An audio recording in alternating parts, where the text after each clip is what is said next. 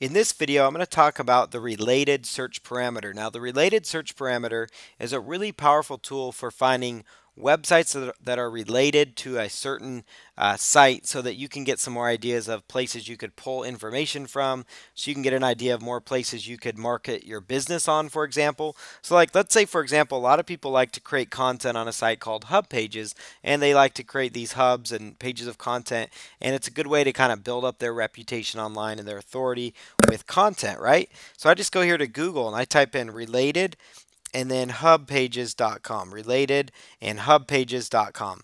And it's going to pull up a list of various websites. Now, I could take this info and say the top uh, 25 websites that are similar to hub pages. That would be a pretty attractive article and would get a lot of clicks in my niche market. So that's one of the powerful ways you can use this.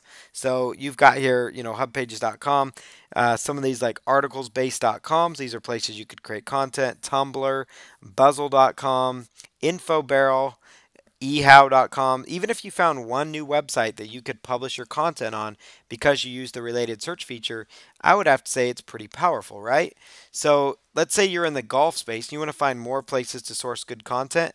I'm going to go to golfdigest.com, golfdigest.com under related and it's going to pull up 49 different websites. We've got golfchannel.com, um, Golf WRX, you've got uh, Golf Tips Magazine, you've got PGA.com, Golf Week. So that'll give you an idea of how this works for that niche, and I can find a whole slew of articles. Let's say you're somebody that you want to make sure you're catching up on the latest trends. So a site like BuzzFeed always has great content. They do a tremendous job at BuzzFeed with like their headlines too. So you could use that for ideas for your headlines also.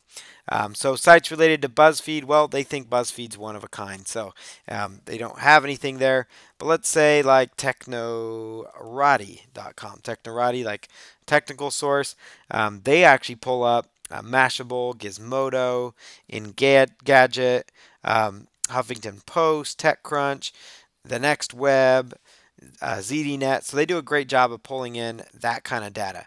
Uh, let's say you are somebody that has physical products to sell and you want to think, okay, where else could I sell stuff besides eBay, right? Well, Amazon, Etsy, Overstock.com. This is good research you can do. So, whatever niche market you're in, um, you know, you could go out and find websites related to your niche market and then do a blog post about, well, here's the top 10 sources for finding free, amazing recipes, you know.